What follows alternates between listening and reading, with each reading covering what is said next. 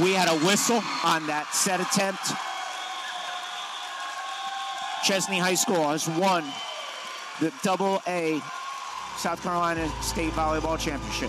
It means every, it means the world. Uh, it's been the goal for a really long time, and it just it's a really good way to go out. Uh, I'll never forget this night. So it means everything. We worked so hard to get here, and now that we've actually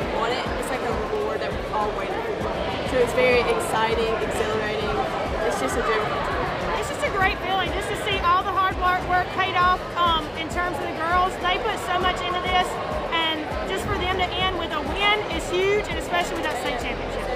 What an exciting night to be an Eagle. I tell you what, we are so proud of these young ladies.